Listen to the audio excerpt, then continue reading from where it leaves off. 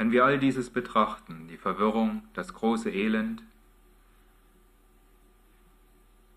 das unendliche Leid,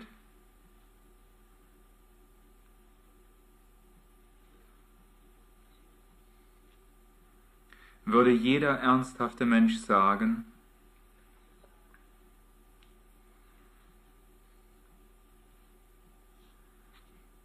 dass diese Gesellschaft sich wahrscheinlich nur ändern kann, wenn jeder Einzelne, der einzelne Mensch, sich wirklich radikal selbst verändert.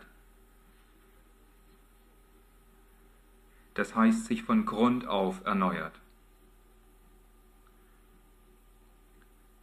Und die Verantwortung dafür hängt vom Einzelnen ab, von dem Menschen, der sich bewusst ist der großen politischen, religiösen, wirtschaftlichen Verwirrung.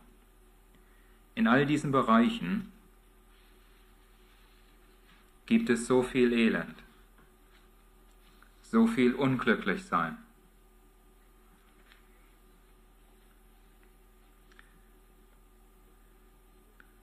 Und wenn Sie dieses sehen, ist es ein wirklich ernsthaftes Anliegen, sich selbst zu fragen, ob ein Mensch wie man selbst oder ein anderer sich einer grundlegenden, radikalen Transformation unterziehen kann. Und wenn diese Frage gestellt ist,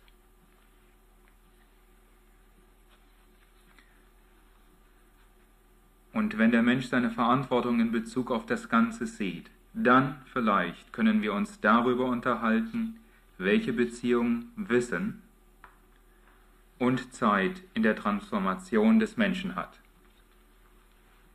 Die meisten Menschen befassen sich nicht ernsthaft mit den Ereignissen, dem Chaos und der gegenwärtigen Unordnung in der Welt.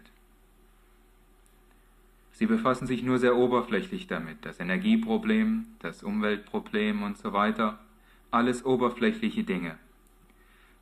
Aber sie befassen sich nicht wirklich mit dem menschlichen Geist, dem Geist, der die Welt zerstört.